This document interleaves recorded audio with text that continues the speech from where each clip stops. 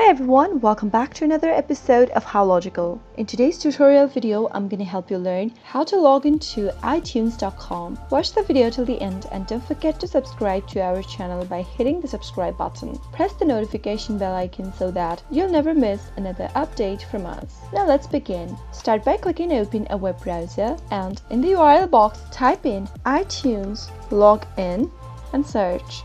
From the search results displayed, click on the first link that you see and soon after you do that, go and click on the briefcase icon in the upper right and now click on sign in. Go ahead and enter your Apple ID in the first text field.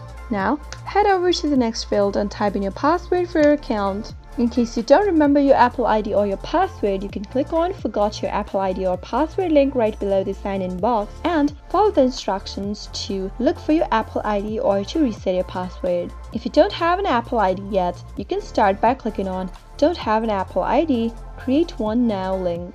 Register yourself to your new account by following the instructions and finally after everything's typed in click on sign in and you'll be able to log into your iTunes. I hope you found the video to be helpful. If you did, go ahead and give us a thumbs up, comment down below in the comment box if you have a question or a feedback for us. I'll soon be back with more tutorial episodes. Goodbye till then.